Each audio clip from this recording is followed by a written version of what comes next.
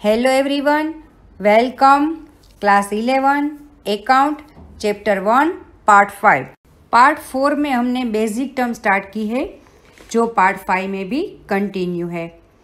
Term fourteen revenue goods और services के selling के एक्सचेंज में जो रकम मिलती है, उसे रेवेन्यू कहते हैं. कभी कभी इसमें कमीशन इन्वेस्टमेंट पर इंटरेस्ट या तो डिविडेंड को भी शामिल किया जाता है।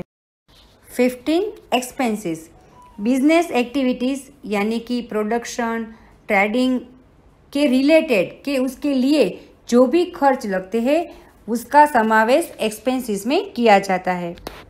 सिक्सटीन एक्सपेंडिचर जो अमाउंट हम प्रॉफिट अर्निंग कैपेसिटी बढ़ाने के लिए खर्च करते हैं, उसे एक्सपेंडिचर कहते हैं।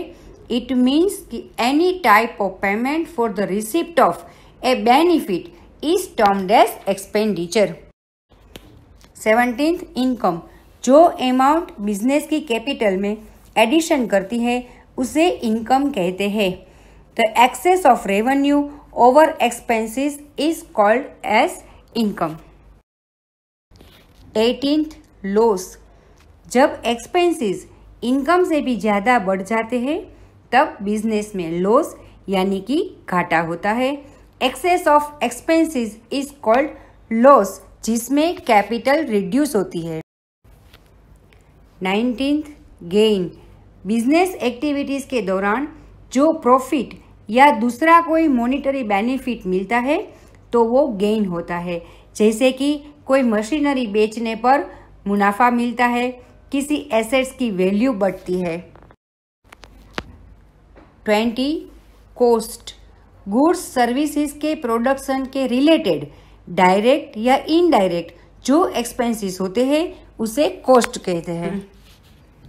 ट्वेंटी वन डिस्काउंट कंसेशन या रिबेट बिज़नेस में जब कोई अपने कस्टमर को देता है, तब वह डिस्काउंट होता है।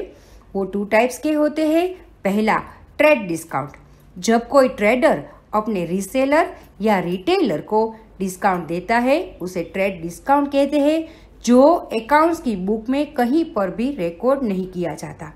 दूसरा कैश डिस्काउंट जब कोई ट्रेडर अपने कस्टमर को अर्ली प्रॉम्प्ट पेमेंट करने पर देता है, तब उसे कैश डिस्काउंट कहते हैं, जो कस्टमर को अर्ली पेमेंट के लिए मोटिवेट करता है और अकाउंट की बुक में कैश डिस्काउंट डिडक्ट करने के बाद की अमाउंट लिखी जाती है और कैश डिस्काउंट का भी रिकॉर्ड किया जाता है।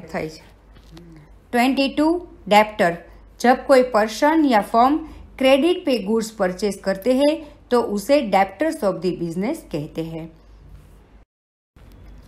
ट्वेंटी थ्री क्रेडिटर्स किसी पर्सन या फॉर्म से जब हम क्रेडिट से परचेज करते हैं तो वो क्रेडिटर्स ऑफ़ द बिज़नेस कहलाते हैं। ट्वेंटी फोर रिसीवेबल्स जो अमाउंट जो पेमेंट लेने की बाकी हो, उसे रिसीवेबल कहते हैं। Trade receivables refers to the amount receivable on account of goods और सर्विसेज़ मतलब किसी को गुड्स सेल की हो और पेमेंट बाकी हो तो उसे रिसीवेबल कहते हैं। ट्वेंटी फाइव पेएबल्स जो अमाउंट जो पेमेंट देना बाकी हो, वो पेएबल्स होता है। जैसे कि किसी से परचेज किया हो और उसका पेमेंट बाकी हो।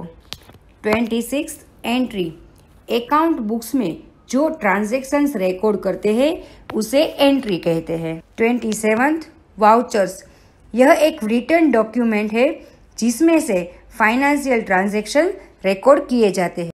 ट्वेंटी एट डेबिट और क्रेडिट हर एक अकाउंट की दो साइड्स होती है लेफ़्ट साइड और राइट साइड लेफ़्ट साइड को debit side and right side को क्रेडिट साइड कहते हैं। आज के पार्ट फाइव में हमने डिस्कस की बेसिक टर्म्स वैसे तो अकाउंट्स में कई टर्म्स होती है, पर इन सभी में ये बेसिक टर्म्स है। आगे आगे जब भी चैप्टर्स एक्सप्लेन करेंगे, जो भी टर्म्स आती जाएगी, उसे हम सीखते जाएँगे। Stay tuned with Shiv academy thank you